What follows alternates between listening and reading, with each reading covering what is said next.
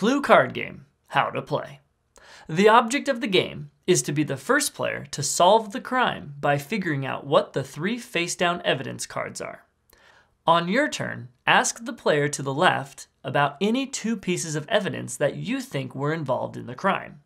You can ask about two different types, like plum and the knife, or two of the same type, like the kitchen and the dining room. If that player has one of the evidence cards you asked about in their hand, they must secretly show it to you.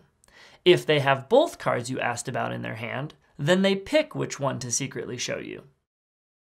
If they have neither card, then they must say so. If the player doesn't have any of the cards, then the next player clockwise is asked about the same two evidence cards. If they don't show you any, then the next player clockwise is asked, so that every other player has been asked. If no player shows you anything, then your turn ends and the next player clockwise goes.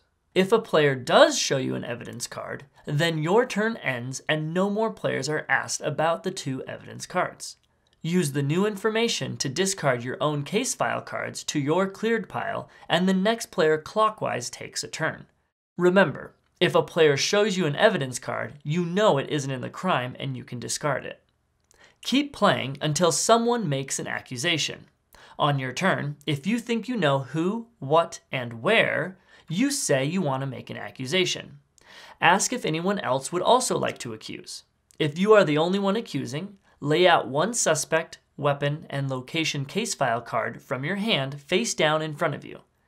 Now, secretly look at the cards under the crime, making sure no one else sees. If all three cards match your accusation, reveal them along with your accusation cards and you win. If they don't match, then you lose. Return the cards face down.